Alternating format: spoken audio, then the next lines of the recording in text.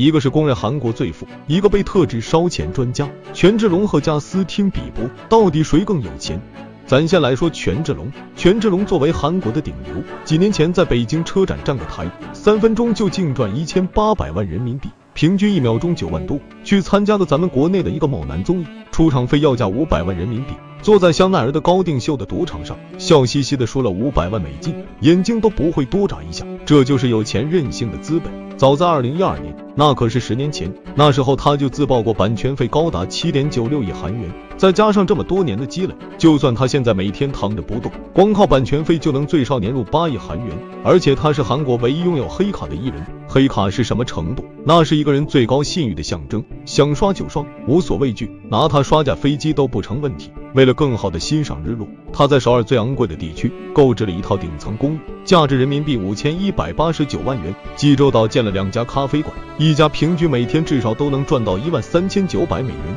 除此之外，他对房地产还有大量的投资，买房子跟咱们买盐一样轻松。八百万美金买一座以爱丽丝为灵感的建筑，两千七百万美金再购入一套更好的别墅，座驾是价值四十八点九美元的兰博基尼，冰箱里全是松茸、鱼子酱、鹅肝酱等极其昂贵的食物，甚至一个苹果手机壳都是全黄金的。该说不说，有多少人和我一样，买个手机都心疼的不行，更别说比手机还贵的黄金手机壳了，那是想都不敢想。能和权志龙财力相媲美的，可能甚至还要更好的，就是同为万千少女偶像的贾斯汀比伯了。据二零一八年的福布斯统计，仅一年的时间，贾斯汀比伯就进账了八千三百五十万美金，这可是五个亿人民币啊！而且只有一年的时间，我这辈子都挣不了这么多。早在二零零九年，十五岁的比伯就开始拿钱进行投资，给多个未上市公司投资百万美金，还被很多人称为风险投资家。现在更是持有十多个公司的股份，在和海莉公布婚讯后，